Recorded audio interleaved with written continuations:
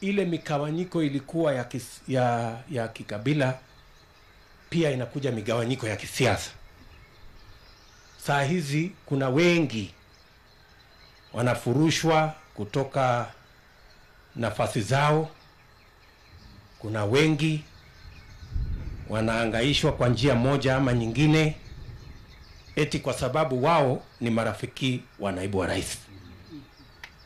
Hawa watu wote mimi nawaomba muwaombee wawe na uvumilivu.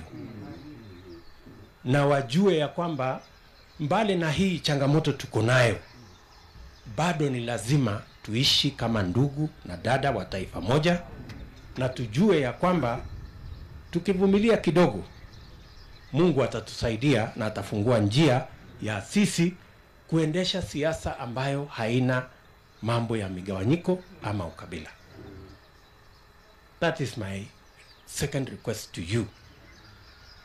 Kwa sababu katika kenya ya sasa kuna watu wengi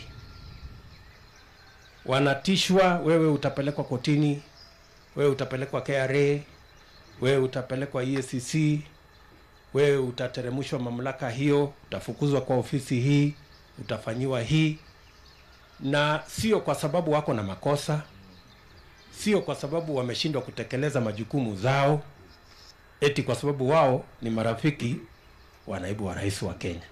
Na mimi hata na mimi pia ni Mkenya jameni, ama namna gani?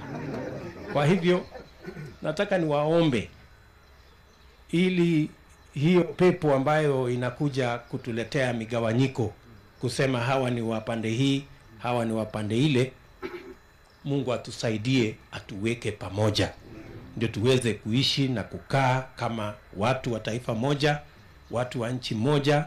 Tuache migawanyiko, tuache mirengo na tuache mambo ambayo yanaweza kutugawanya na kututenganisha.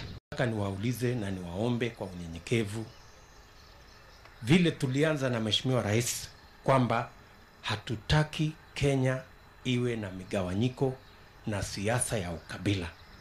Nataka mtusaidie Kenya hii, mtuombee sisi kama viongozi tu, tusirudishe taifa letu kwa migawanyiko na kwa siasa ya ukabila.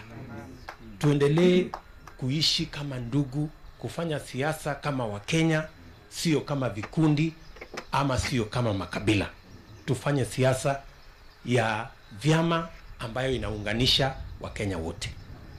That's my prayer and that is my request to you as spiritual leaders. Jambo la pili ningependa kuwa